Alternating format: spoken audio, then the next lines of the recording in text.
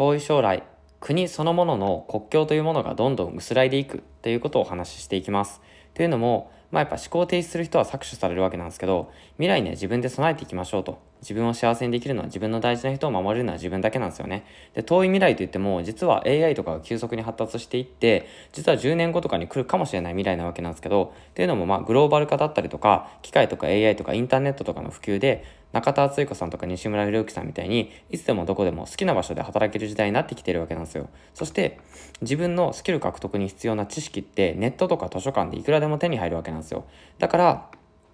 自分で考え行動し挑戦していく人たちが自分の理想の未来を手にすることができるある意味平等なチャンスが転がっている社会に僕たちが生まれることができたわけなんですよねで現代社会って変化がめちゃくちゃ激しいわけなんですけど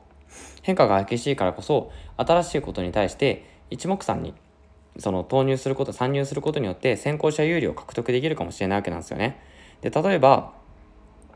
そのいつでもどこでもお金が稼げるみたいな働き方ができるっていうことの例として世界一 YouTube のチャンネル登録者数の多いピューディーパイさんっていう白人の方はポルトガル出身だったかな？けど今日本に移住してるわけなんですよね。でさっきお話したように中田敦彦さんとか西村ゆきさんは海外に移住してるわけですよね。というふうに自分の生活スタイルとか価値観とかその家族構成とかに合わせてもうあのずっと日本にいるっていうことに限らず好きな場所に移住できるわけなんですよ。移住できる時代になってるわけなんですよ。もちろん海外にいてもあのお金が稼げる能力だったりとか海外でも外国語を話せるみたいなそういう能力が必要なわけなんですけどだから努力してる人とか勉強する人とか能力の高い人がより自由に生きられるようになって僕たちみたいに努力しない自分を正当化してるゴミクソ人間たちはずっと今いる地元でとどまり続けて搾取され続ける未来が待っているわけなんですよね。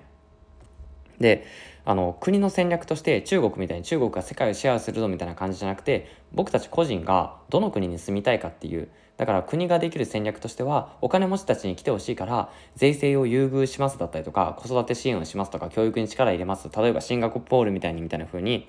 あの国はあの国家主体でその国を発展させていくわけじゃなく優秀な影響力を持つ金持ちたちをいかに囲い込むかっていうような箱庭を作るそういうふうに戦略をシフトさせていった方がその国は発展していくわけなんですよね。であの僕たちの日本の地元だってそうなんですけどどの地域にもいいとこ悪いところがあるわけなんですよね。で国だって日本にもいいところ悪いところあってフランスにもいいところ悪いところあってアメリカにもいいところ悪いところあるわけなんですよね。で僕たちは一箇所にとどまる必要なんてないわけなんですよ。でそこがいいかどうかっていうのはその場所から出て視点を変えてみないとわからないわけなんですよ。実家で親と一緒に暮らすのめんどくせえなっていうふうに思ってても実家から出て一人暮らしをしたら親がいつも料理してくれていたことっていうのがありがたいなっていうふうに感じることもあるかもしれないわけなんですよね。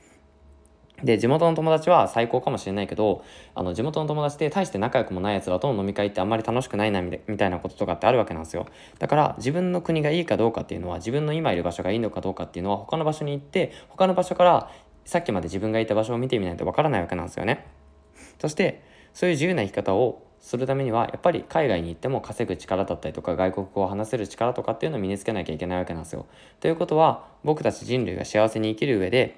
窮屈な社会で過ごしたくないなっていうふうに思うんだったら努力していろんなスキルを獲得しなきゃ僕たちは一生奴隷として搾取される人生が待ってるかもしれませんよという話でした。